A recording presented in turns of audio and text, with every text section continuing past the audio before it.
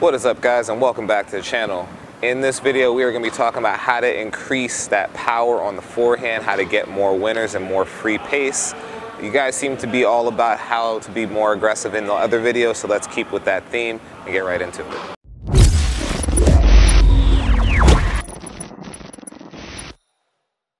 So when we look at trying to increase the power on any of our ground strokes, especially the forehand, what we want to do is break it into three categories. And you can focus on any one of these to improve it. You can increase racket speed, you can improve your racket path, or you can improve the power sources. I'm going to go through all three in this video, starting with racket speed. So when we look to increase racket speed, it's broken into a very simple foundation.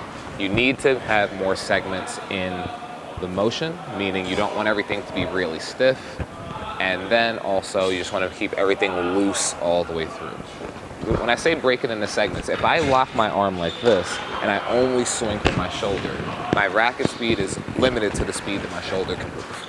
But the more hinges you add, the faster the racket goes. But at the base of it, my shoulder hasn't increased its speed. I'm still moving my shoulder as fast as possible, but when I add that elbow in, now I've got more acceleration through at the end. When I add my elbow and my wrist in, I, it happens again. When I add rotation, even though I'm not really going as fast as possible, you can see how at any level that's increasing your racket speed, whether you are a brand new player or whether you have a bunch of experience. The more you can time these segments, the easier it'll be to increase that speed.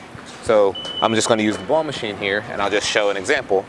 When that ball comes in, if I go stiff, yeah, I can keep the ball deep, but that's as fast as that ball is going to go. I'm going to add my elbow in here, and that racket's already accelerating a little bit more. And I'm still not really using my wrist yet. When I add the wrist in, you can hear the difference in the sound of that ball. Again, my shoulder speed hasn't increased at all. My rotation of the body is adding that power. So just by getting the proper pieces to break at the right time, anybody can increase their racket speed fairly easily.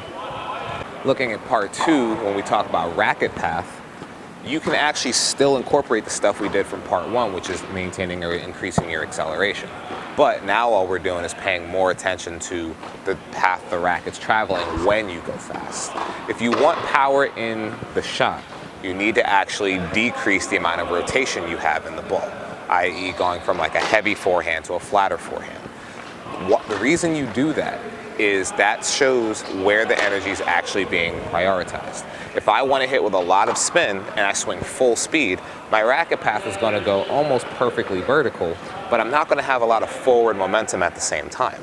If I want to increase my power, I have to take that vertical path and start to tilt it more and more forward until I have 100% power and 0% spin basically. Now obviously you want to play with the fractions or play with the percentages to what's comfortable for you. But if you can take your racket in a perfectly horizontal path, that's going to be 100% force. And then depending on the actual racket speed that you use, that'll dictate how fast the ball goes. But if I'm a person who swings moderately slow, but my swing is also very, very vertical, I can increase my power just by taking that same slow swing and taking my racket path more forward. So let's do a couple demonstrations of that one, and again, you'll see the difference. And my goal is gonna be to not change my racket speed at all. So again, with the racket speed remaining pretty much the same, this is a vertical swing path going at that moderate speed for me. Vertical swing path. You don't see a lot of force in that shot. That swing goes up, and it's not a bad shot, but it's not necessarily super fast. But if I take that same swing speed and take it linear, now I'm hitting through the court, and you can see my ball made it to the curtain. And I'm not swinging harder. I could swing harder, but that would defeat the purpose of using this as the way you improve your power. So again, I'm swinging super moderate, but you can see the difference in the path of the ball. Now if I wanted to go at my level, that clearly increased the speed of the ball. But again, all I did was take a swing that usually goes down and then up and just took it and made it more horizontal. No matter what level you are, that is the way to increase power without necessarily changing the amount of power you have to generate with your body. This last one may be a little challenging for some people with physical limitations, but to the best of your ability, most people can implement it. This is the one where we talk about where you get your power from. So you've got a couple of main power sources. You've got the legs, which you push up into. You've got the core, which rotates, and then you've got this shoulder and basically all the segments of the arm.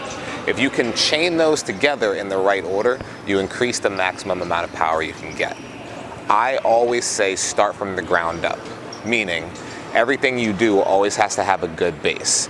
Even if you have terrible technique, pushing up at the right time will increase the amount of force that you have through the ball. And if you can get everything kind of firing in the right sequence, it will drastically improve the amount of power you have. But what I want you guys to do is use these two words, drop and drive, or the sink and push.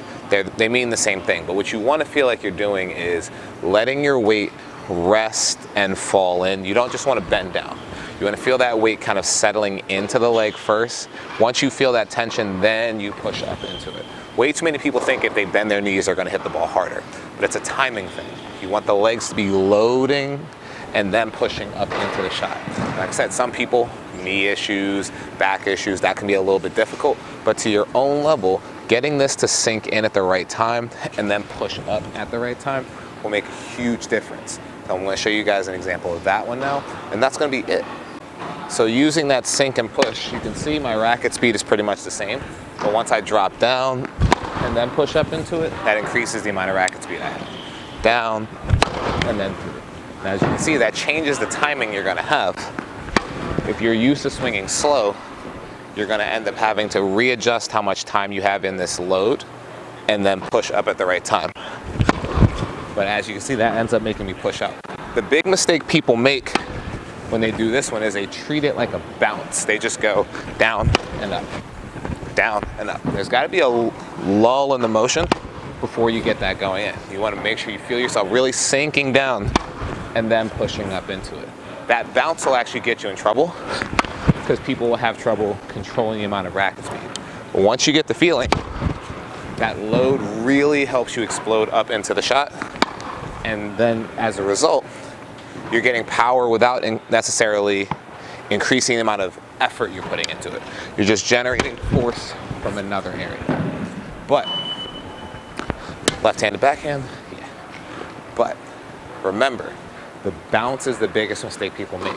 They think that because they just bend down and come up, it's gonna work. You gotta really feel the weight settling for a second. If you don't have that weight settled down into the legs, you can't redirect it. It's like jumping rope versus doing a squat jump. You can use residual bouncing to keep yourself going.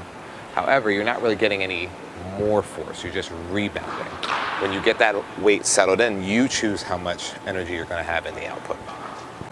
But that's going to wrap up this video, guys. I hope you felt that that was a little bit helpful. If you really want to work on getting more force, you have to take these things and apply it both on a ball machine or with a hitting partner or in match play. But what I always say is you want to focus on working on one of these, Get that really drilled into the body first and then add into it. Don't go on court and try and do all these at the same time. But that's gonna wrap it up. Send this video to somebody if you think they benefit from it, but we'll see you guys in the next one.